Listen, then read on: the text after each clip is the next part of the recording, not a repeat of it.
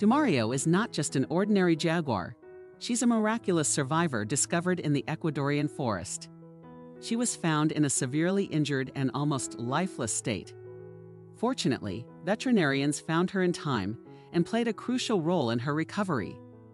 Diaria had been shot multiple times, a shocking and heart-wrenching ordeal that she endured.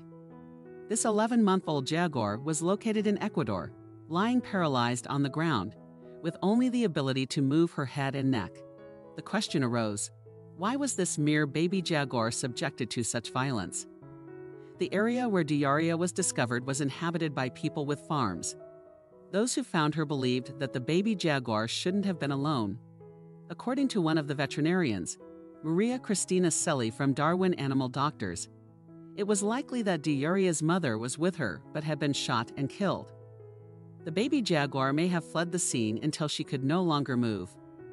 Diaria's life was hanging in the balance, having been shot multiple times. Selly emphasized that if she had not been found and treated, she would not have survived. On her own, the young jaguar wouldn't have stood a chance. She was paralyzed, unable to drink water, hunt, or find food for herself. This is where the team of veterinarians stepped in to rescue the baby kitten. Brought to an animal hospital in Ecuador's capital, Universidad San Francisco de Quito, by locals, the jaguar had one opportunity to recover despite a challenging five hour journey in a truck.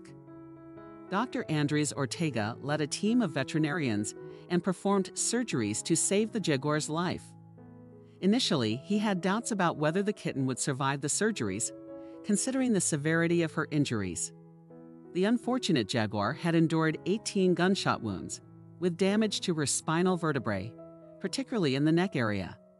The surgeries not only involved removing the bullets, but also repairing the damage to the affected vertebrae. The veterinary team provided post-surgery care, and to their astonishment, Diaria began to show gradual movement in her legs. Over time, she would grow stronger and heal. Selly described the kitten's first steps, saying, She stood up and started displaying signs of restlessness. And that's when everyone realized she was going to make it.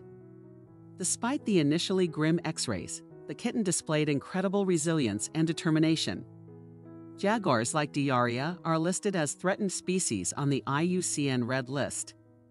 Her survival is a promising development as it means she can contribute to the population of jaguars in the Ecuadorian forest, provided she avoids encounters with farmers. As Diaria continued to recover, her injuries began to heal, but she had to remain in a small cage at the animal hospital during this time. Despite her confinement, the staff made every effort to keep her content, as you can see in the following photos. The veterinary team did an exceptional job, and just a month after the surgical intervention, Diaria was transferred to a larger outdoor space in the nature park, Lago Agrio, Ecuador. Her recovery progress had reached 95%, and according to Selly, Diaria was running like it's the last day of her life. The veterinary team believed she could eventually be released into the wild to live alongside other jaguars. In preparation for a successful release, the veterinarians minimized contact with Diaria so she wouldn't become accustomed to humans. This strategy aimed to prevent her from associating humans with benefits, ensuring she would stay away from them in the wild. During her time in the hospital, Diaria exhibited a growling response to humans, as Sully recounted. Diaria's name, meaning brave tiger, was truly fitting, considering her remarkable recovery. She received specialized post-intervention treatments to facilitate her full rehabilitation, and her joyful appearance now speaks volumes.